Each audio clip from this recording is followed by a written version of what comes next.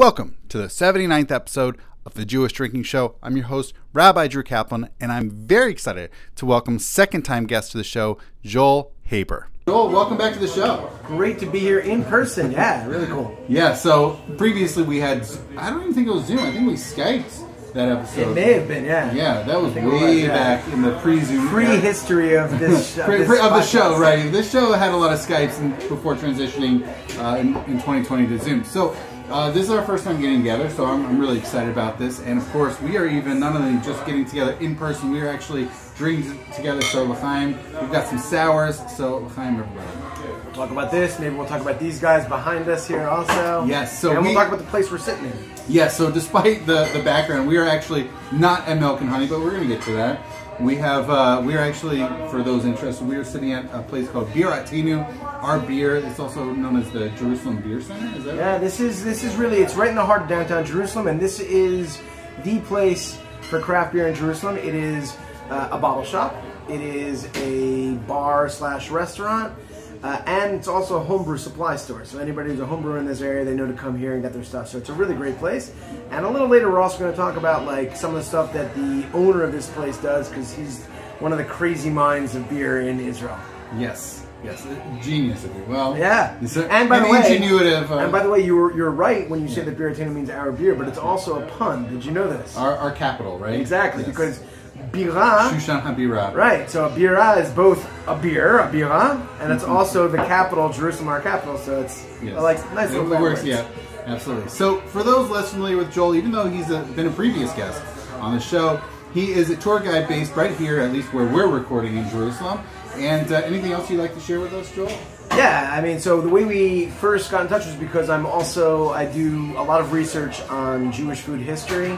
Uh, within the broader Jewish food history realm, I have done a lot of research on Jews and alcohol. Actually, just about I think it was about three weeks ago, I did a, a program right here, an event here, where I gave a whole lecture about the history of Jews and alcohol with different drinks mixed in throughout the night and also food and stuff. So yeah, it was it was it was a good time. Had a good turnout. Yeah, it was a great event.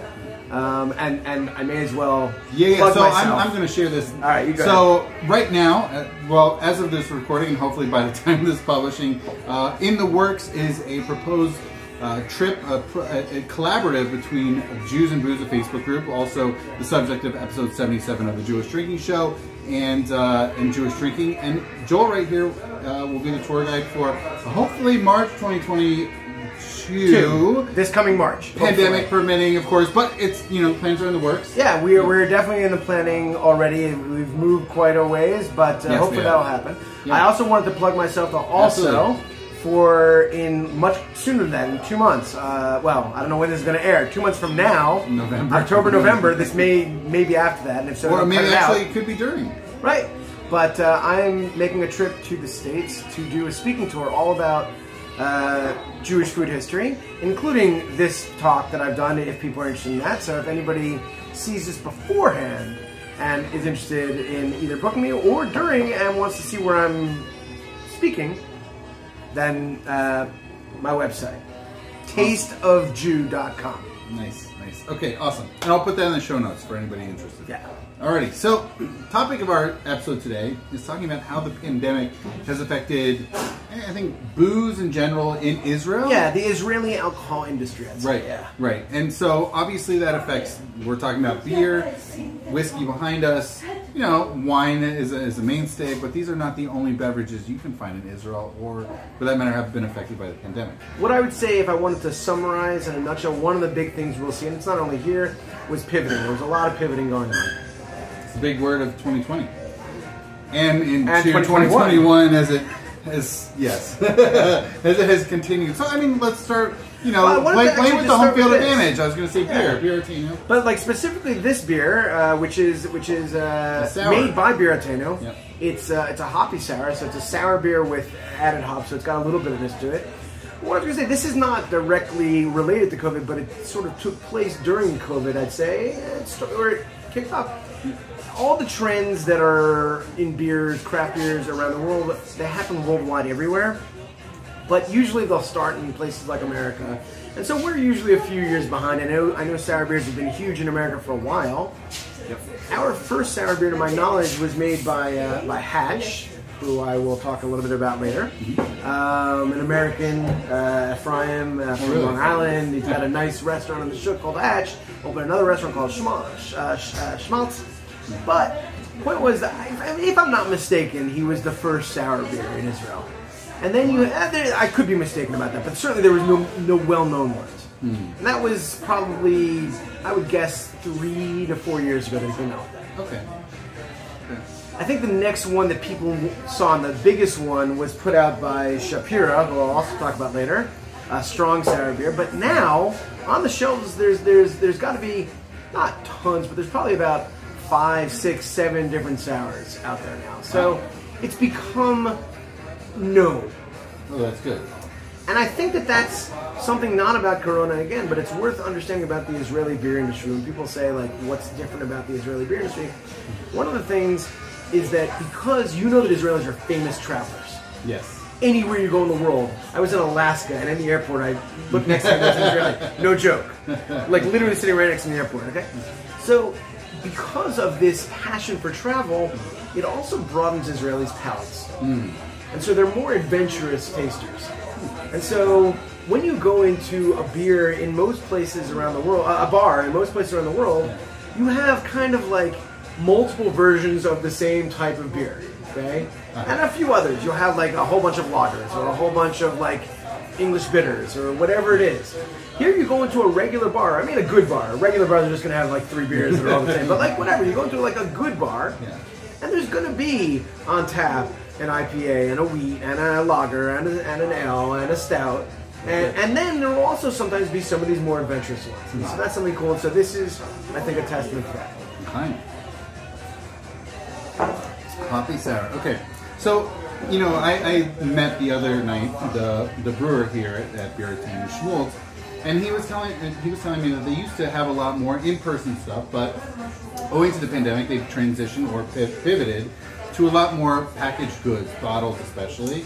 Right. So I imagine a lot of breweries have also been doing that throughout the pandemic. Yeah, so, uh, well, we'll start with Birateinu and then I'll talk about some of the others. Yeah. But uh, obviously, um, when you don't have people coming in, and, and these guys got hurt. You know, they, they own a few places. And one of their bars closed down during the, the, during the pandemic. Mm-hmm. They reopened a number of months later in a different location, but that was that was a tough thing for them. Yeah. And so, um, one of the ways that they tried to make sure that people were constantly coming in to get more beers, like in bottles, Yeah. was they were constantly cranking out new beers Oh wow. so that the, the passionate people who are the home brewers and stuff like that, and the people like me, who I'm not a home brewer but I love beer, Yeah. they would be coming back all the time to get the newest thing. So I actually have a bunch here. The thing you have to understand about this place, so Schmultz, the, the guy who he was talking about, the brewer and, and co-owner here, he's like a freak with his beers. He makes weird, adventurous things. He'll throw anything into a beer. They had a they had a beer um, during uh, right around Hanukkah time that was like Yeah. a sufganiya flavored, uh, a jelly donut flavored beer. Okay, so I just grabbed four of the out there ones Yeah. to show you. First one is the least out there. Okay. Yeah. Um, but it also answers another question that I often ask people. Like when you come to Israel and you get Israeli wine, Yeah. so the grapes were grown here and it's made here. Right. You get a really good sense of the terroir. Right. But with beer, like virtually nobody's using malt grains from That this country. in Israel. Hops can't even grow in this country. So what makes an Israeli And, and the beer? yeast, and then also the yeast, where you get Well, theoretically, ye- there are could get from the grain or the air. whatever. But like those things for sure. So what makes an Israeli beer an Israeli beer? Well, one of the things, there's a few, but one of the things is a lot of brewers are putting in local flavors. Okay. I think So- I'm gonna water, but Now, so this beer here, for those uh, getting to watch this, okay, yes. it's got a weird uh, typeface on there, but you're going to know immediately what it's flavored with because it's called chalvale. Halva beer. This is a Wow. chalva beer. I mean, it's definitely uh, very cloudy. It is not a clear beer. Right. And so that's the, the, the most tame of the weird ones okay, uh, that they made this year. And it's four and a half percent alcohol. Okay. Yeah. Um, That's fine. This one, which also has a, a, a, a cool painted wrapper, they have the original painting. They printed this, so it's a piece of art. It comes with your beer. Wow, right? that's awesome. It's this one. It's called Melnick. It is an imperial pastry stout. Bitam, with the flavor of Belgian waffle, caramel, and blueberry. wow, Yeah. Okay, so that's this. that's fascinating. That's by the way, twelve and a half percent alcohol. That's Well, it's an imperial, so yeah, yeah, that's a, it's not a light one. Yep. Yeah. This one is the weirdest one, which uh, you tried recently, and I I had it the other night. Yeah. Yeah, this uh, isn't officially under the Birateinu label. It's under Schmaltz's private label. You can see right over here it says Schmaltz. For those who are watching instead of listening, for those who are listening will pay attention. You'll take our word for it. This is a mushroom beer. Yep. Now, what did you think of it when you had it? So first of all, I, it's only the second mushroom beer I've ever had in my life. First one I've ever had. There's there are certainly not many that I I will say. Also, it's an imperial. It's not just a mushroom beer; it's an imperial roasted mushroom Stein beer. And am I speaking with the brewer the other night about even just the Stein, forgetting the mushrooms, Stein beer? He told me the way that they brewed it is you have to put the whole mixture, the brew stuff, in a wooden pot, Ah. but you can't uh, directly apply the fire to wood if you're trying to brew. Right? You can certainly do it if you want to create a fire. That's, Right. that's great. So you have to use the intermediary of stones. That's why it's called a Stein Ah. beer. So you use stones to heat it up. So you Right. heat the here stones. 5G stoned imperial Well, roasted 5G mushrooms. stone is the name of the beer. Right. But the style, so a Stein beer, you have to do that with the stones. So you heat the stones. I, I don't remember if you then apply them to the wood or you put them in the beer directly, but either way, that's the Stein beer aspect. And it's imperial. So ro- roasted mushrooms. You put roasted mushrooms in it, so it has this this um, uh, earthy, mushroomy flavor Yeah, to it. You definitely get the mushrooms. It's very earthy. Yes. I, I- frankly, I didn't love it, but it was definitely interesting. And all at the same time, it's also imperial. It's ten point two percent. So it is a. There's a lot going on. It's certainly look. There are not many mushroom beers out there. It's certainly an interesting one. If you're not expecting a mushroom beer, that earthiness is going to get you. But it's not overpowering earthiness. Like it's there, but it's it's it's still. I I may or may not have had a second one. it was now, good. now, you're not Russian background by any chance, are you? Um, Russian Polish. I, the border's Okay. changed. you know? Well, this one, this one, which is the last one I'll show you of Birateinu's, this actually comes from a, a Russian idea. So this one is called Apokhmed. okay. And this, the concept behind it, and if I tell you what it is, came from, you've heard the term hair of the dog, of course. Yes. So this is the Russian hair of the dog, Ah. but in a bottle already. Clever. Pickle flavored beer. Ah. And now this is a sour beer. Was it a gose? It's, I think it is a gose, yeah. If you can mm. look, I think so. Yeah. It's definitely a sour style beer, but it has in it cucumber, Yeah. dill, It's a gose. garlic. Yeah, yeah. it is a gose, yeah. Yeah, three and a half percent. Yeah. And I'll tell you, it doesn't taste like a pickle, but it tastes good. I actually like. So I Wow. bought this multiple times again. It's in my fridge right now, Ooh, actually. wow. I like it. like, I don't think the flavors blend in the way it does inside of a pickle, but you taste cucumber, you taste dill, you taste garlic. Oh, that does sound refreshing. and you taste sour. It sounds It's refreshing. Super nice, yeah. Yeah.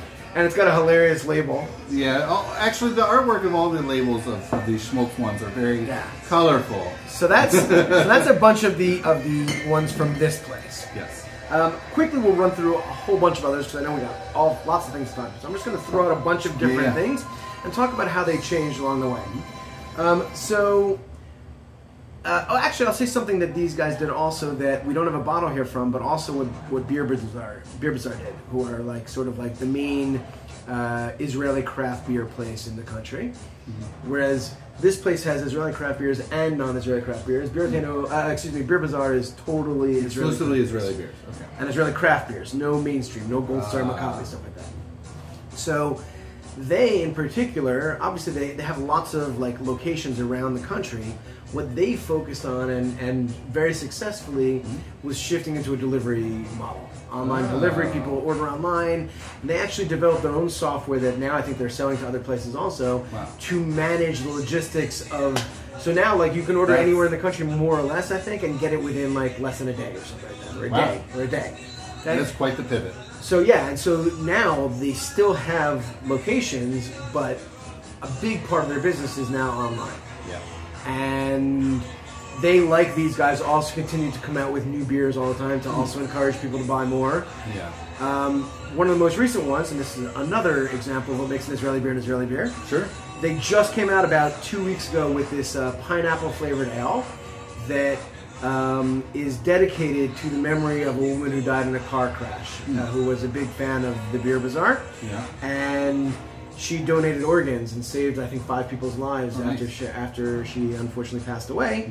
And so I don't know if they're donating money from the sale, or at least, but at the very least, they are promoting the Organ Donor Society on the bottles themselves and mentioning this woman and everything like that. So that's a beer with a social conscience, which we have a number of like that also, which I think is nice. awesome. Yeah, that's really nice. So, um, and uh, Birateinu was doing a lot of deliveries in the beginning also for the same beer. Now, Hatch, which is as we mentioned before, um, one of the things that they did during this Yeah. was sort of they were make they're sort of a brew pub. They don't brew it in their pub, but they, they were making all of their own beers from the very beginning.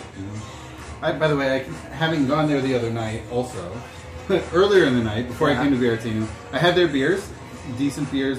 Their wings are really delicious. They're a gastro pub. Yeah. Really delicious wings. place. Absolutely Yeah. best wings I've had, certainly in Israel, if not maybe even ever. They're really good Yes. buffalo wings. And have a lot of good good experience. stuff. Yeah.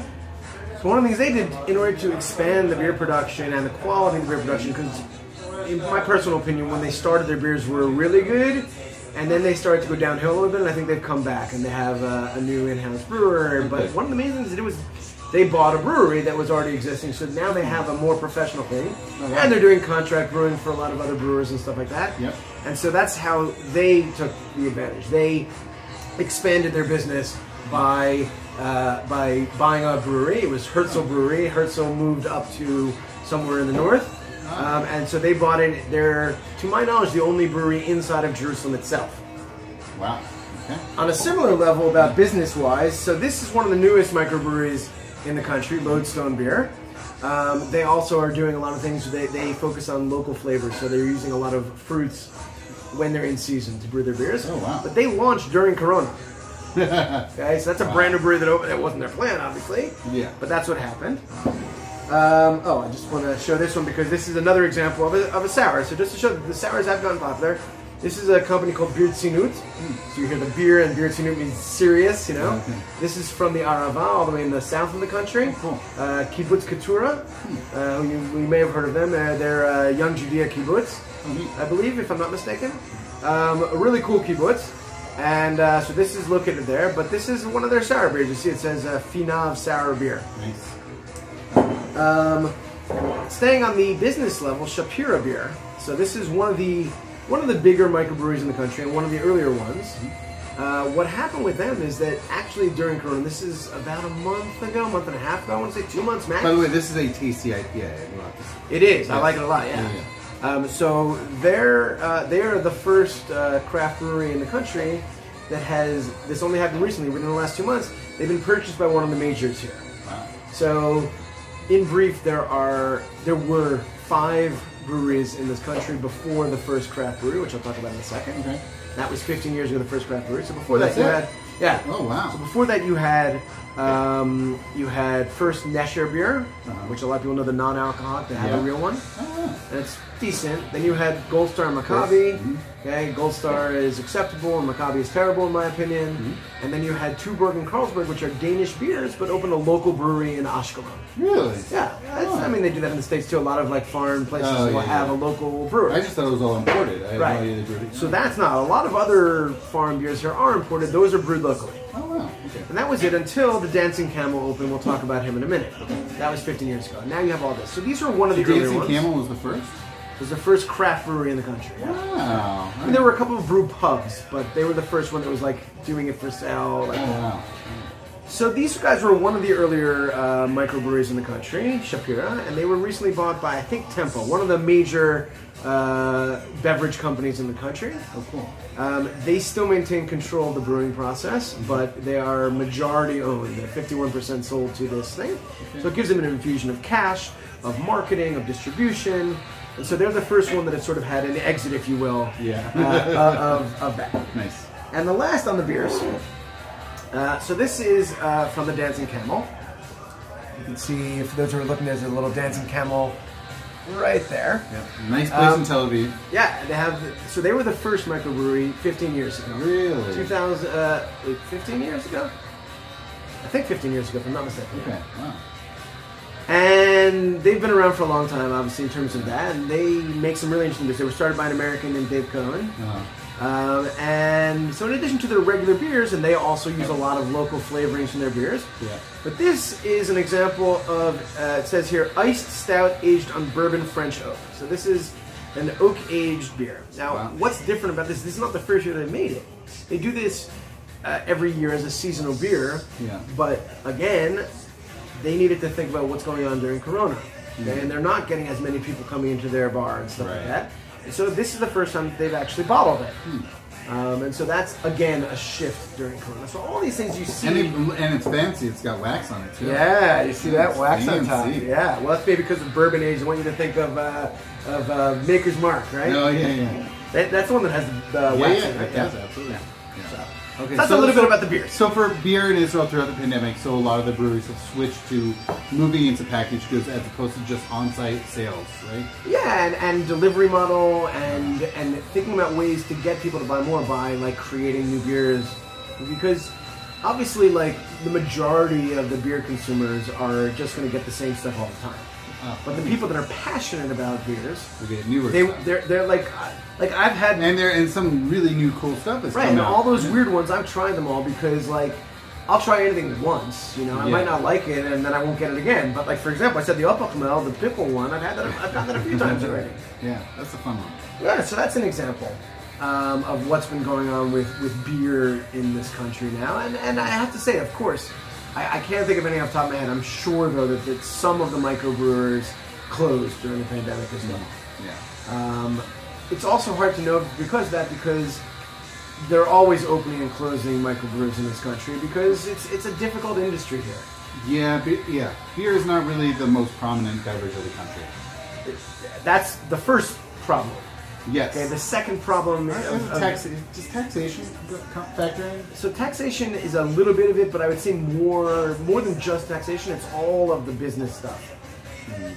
Basically, the many of the laws uh, affecting breweries and alcohol industry in this country are inadequate. Where they, they basically don't know how to classify these things. They're not. And that not feels sure like they should be- that feels like taxation's also related to that too. I'm saying taxation is for sure, but it's Yeah. more than it's like it's like they'll make ridiculous requirements. They're like, is this industry? Is it agriculture? Is it food? And so you have like a tiny microbrewery that has two people working in it, but because they see it as a factory, you have to like they, they make requirements of like the amount of space and, and a bathroom with a shower and stuff like that. And like these are making ridiculous financial requirements of these companies Oh wow. even though they're a tiny company, because the laws haven't figured out how to recognize them.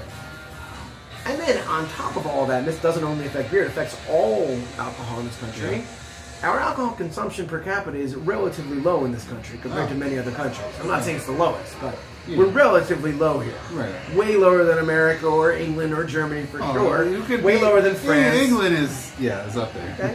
England and Russia are up Right, well, I'm only talking about yeah, beer, but yeah, oh, oh, beer, yeah, yeah. I'm talking about overall. So, Insane. so that that makes that's already means you're starting into an uphill battle. Now, the flip side is it's gotten better. People are drinking more now than they used to. Mm-hmm. Going back to your earlier thing, Israelis travel, they Right. are exposed to other yeah. But it's a slow process. So all of those things mean that, that a lot of times microbrews will open and then close, and, and you know it is what it is. That's the nature of the business. Yeah. Hey there, I hope you've been enjoying this episode so far uh, featuring Joel Haber. I hope you come back for next week's episode. Don't worry, we still have plenty more of this episode still lit yet to go. But uh, next week's episode, uh, that's right, episode number 80, features, features Yissi Steinhardt, who is the cocktails columnist for Machers Magazine. Here's a sneak peek. I would love just for everyone to understand that making yummy tasting drinks can happen at home Hmm. and you don't need all of these fancy things and you can still come out with a solid delicious drink. I hope you enjoy that sneak peek into next week's episode number 80. And now back into this episode with Joel Haber. Behind us, we have this incredible. I mean, you, it's out of frame. You can't really see it. The entire wall is taken up by this really fantastic Do you want to M&H tilt or should whiskey you, do you not want to deal with it? The what? Should we tilt it or you No, know? no, no. this fantastic M&H uh, whiskey distillery. M&H is an, stands for Milk and Honey, of course. This is the land of milk and honey, Eretz Zavat Chalav Vash. Um, so this is a so moving on to whiskey, right? So there's only what a few whiskey Yeah, distilleries well, here. let's talk about distilling in general, broader Sure, just sure, beyond the sure. whiskey. Yeah, yeah. So yeah. So um, Milk and Honey, uh, which now I think officially changed into just M and H, but it is from Milk and Honey. Yeah. They're based in Yaffo in Tel Aviv, and uh, they were the first single malt style whiskey to market a number a few years back. The Golani distillery in the Golan Heights, I believe, was the first whiskey to market. It wasn't a single malt yet at that point. Uh-huh. Uh, Scotch style whiskey, I mean. Yep. Um, so both of them, and they're very different from each other, but they both make interesting stuff. Um, so their mindset in general is very much like a like a startup mindset. Like they they they do things in the idea of like iterations. You know, when like and and uh, what's the what's the what's the Move term? fast and break things. agile, agile Oh, agile. development. Okay. So like they're they're constantly trying different things and tweaking and trying, and, and they'll they'll do like three or four different versions in slight like they'll age them in different areas at different elevations to see how different they are. Hmm. So they've continued with all of that throughout the pandemic, of Oh, course, cool. and they've come out with new things. Um, as a way of doing that, but one of the things that I found really interesting that they did, um, so you know how like like if you walk into a grocery store in like June and you find something that says kosher for Passover, you're like, Ew, I don't want that, right? Well, this is something that like you can drink right now that is made kosher for Passover that is actually y- you're, it's Year-round. alcohol. So this, uh, for those who are looking, is called Suf, like Yam Suf, the, the, the Sea of Reeds. And they made this for Passover this year. I don't know if they exported it at all to the States. They may have done a small export, but I hope they'll do in the future. The second pandemic Passover. Correct. Yes. Correct. This was this year's Passover. Yes. So, those who know about whiskey know that, like, really what gives the whiskey the flavor is not the whiskey itself. That's pretty much neutral spirits. Yeah. What gives the whiskey the flavor is the casks that it's aged in, the barrels. Yeah. Right? So what they did was they took uh, a rum. Okay? I don't know how neutral of a flavor the rum it was, but they took a rum and they aged it in sherry casks. And because they're kosher and things like that, they aged them in kosher sherry casks. and so this is not made from grain, and therefore it is kosher for Passover. And yet it tastes pretty much like a whiskey. I had it this year for Passover. It was excellent. I really enjoyed it. I'm not going to say it tastes like the best whiskey I ever had, Yeah. but it was better than any other Or a hard Passover liquor. spirit. It's you know. But I'm saying it's good enough that like when I did that talk here a few weeks ago, Yeah. this was one of the beverages I served, and pretty much everybody liked it. wow. Nice. At the very least, everyone was like impressed by it, and most great. people liked it. So I think that's really cool. And this was something I, I can't say it was because of the pandemic that they did it, but it did come out during the pandemic. Yeah. And uh, it's got this really cool Egyptian-inspired label. You can see Moses right down there, and it says Passover Spirit. So They good. got like Egyptian stuff over here. That's clever. Tzach Adash Ba'chav. Right. Rebbe Yehuda's ten- mnemonic device. Yeah, the, the ten plagues. So, yeah, it's, it's really cool. So I would say I hope that this gets exported next year also because really, I've not had anything of a hard alcohol variety on Passover that was better than this. oh really? Oh wow. Like in terms of hard alcohol, like Yeah. normally what you get is you get sometimes you get a rum, sometimes you'll get tequila, sometimes you- you'll get arak, Yeah, yeah. and that's about it. This was really good, and it tasted. It, you could get cognac. This is, I would say, on par with cognacs in Wow, terms of like that's its really interesting cool. flavor. So that was Yeah. really cool thing. Oh, wow. So whiskeys, uh, aside from that, I mean, Oh, I should also- but it's not like you know. I think a, a sharp distinction between whiskey and beer during the pandemic is there's not a lot of on premises. Like people are coming in, Correct. hanging out. People buy a bottle and they take it home. Beer, there, that's a much more massive distinction pre-pandemic. Pandemic, whiskey's okay, fine. So that you know you're going to take a different you know product home. Yeah. right? But what I will mention, since we're on the topic of distilling, is that we also have the newest distillery in the country, to my knowledge, opened also, I believe it opened during the pandemic, if not, then right before, which is right here in Jerusalem. We have Thinker's Distillery. I was passing by it today. Did on you a not bus. go in? I was on You're a on a bus, bus. and I saw it, and I, my eyes just looked at it. Okay. And my wife was like, "What are you looking at?" I'm like, "It says distillery," and it, I was But we like, discussed it in our plans for the tour. It's okay, you but forgot. I, yeah. That's cool. So I saw it. I, I saw it on the bus line, but Wow. So Thinker's Distillery is located here in Jerusalem. Yeah. Okay. They don't sell in stores and stuff like that, except for like one place because it's like his son's pizza place, so they sell it there. um, but uh, they basically just sell at the distillery, maybe online. I don't know. Okay.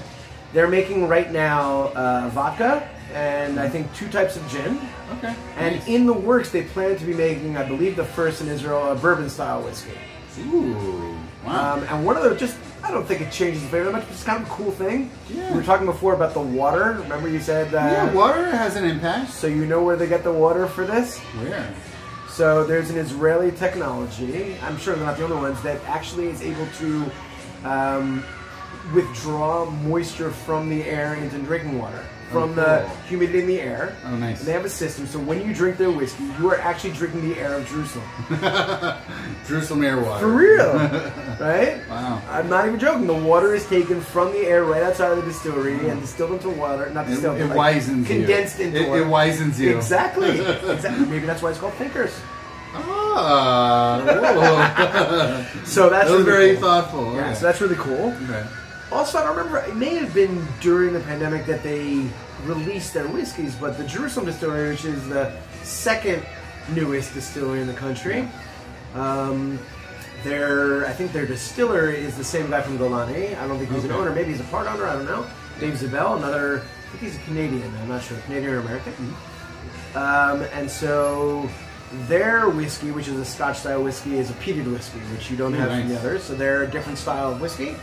Even though they're called Jerusalem Distillery, they're not located in Jerusalem. Oh, okay. They're uh, they they distill down in uh, not far from Beit Shemesh Okay. in Kibbutz uh, Tzora. But uh, so those were they they existed as a distillery before, but I believe their whiskeys first came out. They were making like rums and gin and stuff like that. Neat. I think, if I'm not mistaken, that their whiskey also first came out during the pandemic. Cool. I mean wine. But wine Right, probably wine hasn't really change changed very much. Yeah, wine is just there, and it's not like people. I mean, people maybe go to wineries or, or have on-premises sales, but I imagine for the most part, people buy wine to have whether at home, at meals, and obviously for Kiddush Hotel and other celebratory, you know, events. Right. I mean, I'm sure that they were affected by the pandemic. I'm sure that sales were affected to a degree. Yeah. Certainly, you know, a lot of them deal with tourists, and those weren't coming, so that was an issue. Yeah. Um, but I think by and large, the wine industry more or less stayed the same. I'm sure there were some minor changes. Okay. So I don't think that's something that changed a lot. But, uh, you know, I live here in Jerusalem, and I hang out a lot in the Shuk, in uh, Machane Yehuda Market. Also, shout out to my wife. Machane Yehuda is my her favorite place in the world. She loves going there. I, I heard a great quote once that I, I just repeat because it's a great. I, I think it's awesome. Yeah. When you come to Jerusalem, Yeah. if you want to talk to God, you go to the Kotel, Mhm. the Western Wall. Yeah. And if you want to see God, you go to Machane. That's good. it's great. But anyway, so like anybody who has been there on and off over the years has noticed that there's obviously been a major change over the last, let's say, 10 years with more and more eateries, but also the nightlife, bars that have opened in the Shuk, and I, and I love that. You know, it's Um, funny because even several years ago, when I was here in 2017, I noticed uh, not necessarily half, but a very significant portion of eateries offered at least a few beers on tap. Sure. And so I already was very noticeable. That, and that was years pr- prior to the pandemic. Yeah, it's a good point. Yeah. So the nightlife has been there for already a number of years, at least eight or nine years, Yeah. um, and it's grown. And I love the Shuk, so I'm not here to badmouth it, but I will say that what's happened with the nightlife there, I'm not in, in the last. I'm talking during the pandemic. Yeah. Uh, I don't think it's for the better. Okay. I, I don't. Well, I mean, look, as the, much the as I used to. pandemic's obviously going to affect nightlife anywhere in Right. the world, right? But what happened was that a lot of the what I would consider, and this is a personal opinion, what I would consider the better bars Yeah. didn't survive and Okay. closed down specifically due to the pandemic. yeah. And the bars that did survive were ones that I don't particularly like. Gotcha. And not just because I just don't like them, but I feel like that the owners don't have respect for other people that work in the market, Mm-hmm. and they're just very self-centered and self-focused. And, uh, and I feel that like the nightlife there that's there now is not the nightlife that was there even five years ago. And oh, so not even just pandemic versus pre-pandemic, but a real well, it was, it was a steady uh, progression, Change. but the difference is that five years ago, there may have been a bunch of those bars but there were still good ones. And now, except for maybe the Beer Bazaar, I don't think there's too many of the really good ones. There's a couple that are acceptable, Yeah. but there's a lot more of these bars that I'm not particularly fond of. Okay. And uh, and I don't. I used to hang out there all the time. And uh, at night, at best, I, I live right next to the Shuk, so at best, I may take a beer from my refrigerator, walk into the open part of the market where it's less uh, anything, and just drink it there and people watch. Yeah. But there's, I don't often go there anymore uh, in that sense, and that's a sad. That's the sad side of what the pandemic did. How much of that is is those owners creating? a cer- I imagine also the the the quant forgetting set- setting aside quality for the moment, but even just the quantity of people going to frequent or otherwise, um, you know, pay and, and be customers during the pandemic is also so that radically dropped. Right, so that obviously hurt things uh, in the first year, let's say, not even full year of the pandemic. Obviously, once we hit our vaccination campaign, and then gradually things opened up more Oh, and more. okay. So that's a big change by spring of 2021.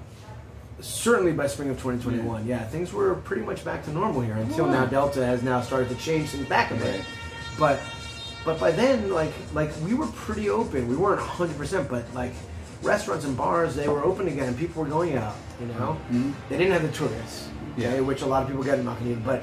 But there was plenty of people like that, that the bars they may have been hurt, but they were able to survive. Mm. But once the closed, closed in the earlier parts. Uh-huh.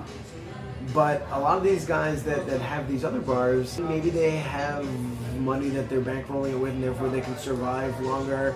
Maybe it's because of their business model, which is selling like watered down beer, and therefore they make more money off of what they're selling and stuff like that. Sorry. Um, Tell us how you really feel. No, I'm just kidding. yeah. But yeah, but I mean that is Yeah, a sad yeah. thing, and I hope that, that, that things will even out again. That some that there will be more good bars reopening there. I hope. Yeah. Um, and I don't know if that's the same everywhere. Um, I will say one thing that's happened. I don't think it's specific during the pandemic, but it survived it. Is that we've seen a little uptick in like cocktail bars here in Jerusalem. Oh, really? That was already a thing in Tel Aviv, and there was like one or two cocktail bars here. But there's been at least another two or three over the last uh, couple of years that have opened. Oh, wow. Not specific to the pandemic, but it has happened. Yeah. The guys from Birateinu here have a cocktail bar that's pretty much focused on gin, gin and tonics of various types and gin-based beverages called the Rabbit Hole. Really? So yeah, so there is some of that. Huh. Hello, dear listeners. It's your host, Rabbi Drew. I wanted to break in right now and just say, hey, A, thank you so much for listening. I really appreciate or watching, however you're consuming this content. And I'm always open for new ideas, both for specifically the Jewish Drinking Show, whether it's topics, whether it's guests. I'm also looking for other resources that I can provide you with in the Jewish Drinking Project more broadly. Also, you know, I'd really like to offer you the opportunity to, to sponsor this work. Whether if you want to go to patreon.com slash Jewish drinking, I would greatly appreciate it. And uh, if you have ideas for swag, also please feel free to send them to me at drew at jewishdrinking.com. All right, thank you so much, L'chaim, and now back into the episode. So that's definitely on the production side. I'm, I'm also curious, like, sort of in general, like, what have you?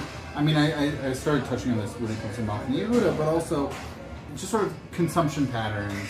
Sort of, in, like, I get on the production side, that's important, and thinking about the businesses, but also people in their own personal consumption predilections. Like, what have you noticed? And obviously, there are different phases of the pandemic. too. Sure. It's hard to it's hard it's hard for me to know that because Well, what have we are somewhat separate.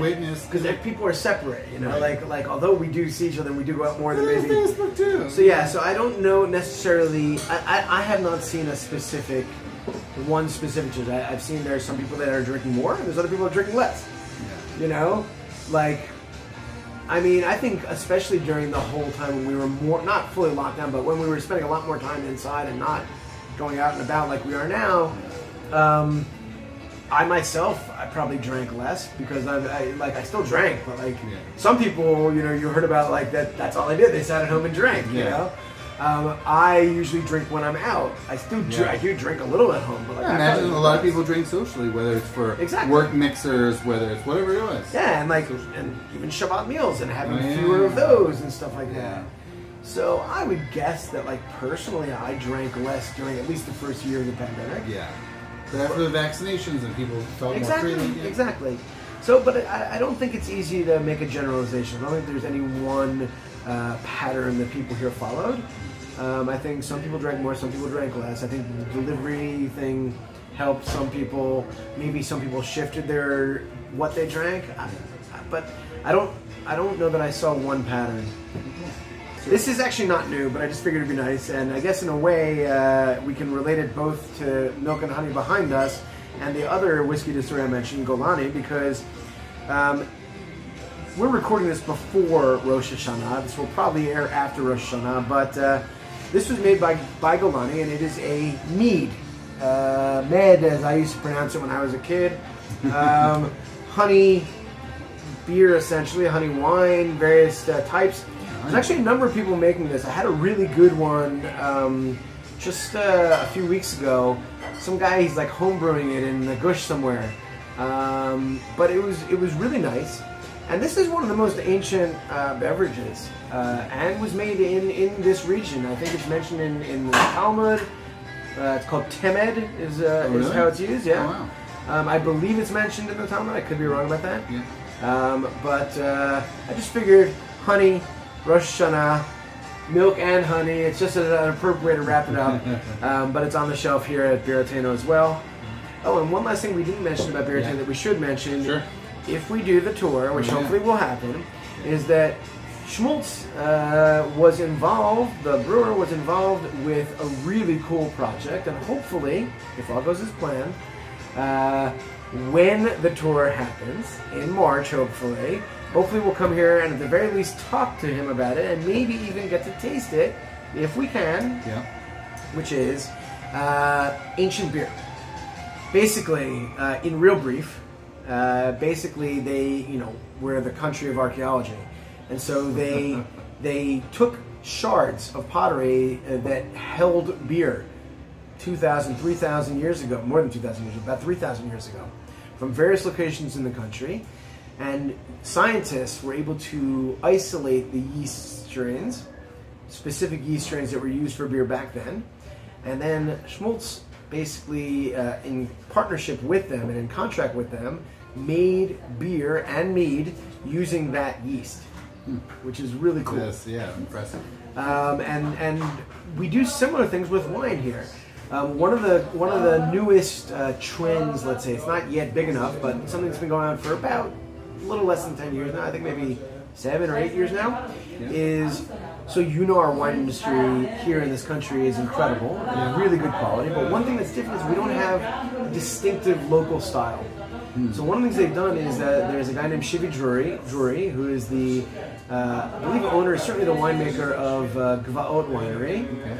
He also is an agronomist and teaches in Ariel University, and he identified something like, I don't know, a huge number of strains of local indigenous grape varieties from this uh-huh. country. Oh, cool. Most of them are not the type that you can make wine out of. They're mostly table grapes, but there's been a few that they've identified. Mm-hmm. And so now there's about four or five wineries that make wines out of these grapes. They're not great yet, Yeah. but hopefully with more years of experience over that. And so these two things remind me of a poster that I had in my basement in New Jersey growing up. It was an Israeli like tourism poster. Maybe you've seen it. Had like a broken pottery shard, an ancient pottery shard, and in the middle of it, it had this like high tech for them, like glass beaker with this blue liquid inside. and the slogan said, Israel, our future is where our past is. And that's exactly what this beer and what this wine is doing. That's really neat. So yeah, really not great. specific to the pandemic, but it's uh, really cool. Well, it's Israel. one thing to learn about the past. It's another thing to taste the past. Exactly. so Yeah, this has been this has been really great. This has been really great. So, Joel, thank you for so much for this presentation. Do you have anything you'd like to promote? Oh, well, I think I did at the beginning, but just in case not. This is this is Um, special promotion time. So, uh, if anybody is coming to visit this country anytime in the future, I'm a tour guide. You can reach me via my tourism website, which is fjisrael.com. That's it for Fun Joel, which is my nickname. So, fjisrael.com. And uh, I'm also, in terms of the Jewish food history stuff, coming to the States October, November. You can find my blog about Jewish food history at tasteofjew.com. And uh, a really easy to remember email address is jewishfoodbook at gmail.com. That's for any of the Jewish food history stuff. Awesome. All right. and to promote our upcoming tour in Yes. March. Amen. All right. Well, Joel, this has been really great. Thank you so much. And finally, l'chaim. Oh, I'm empty, bro, but L'chaim. Woo!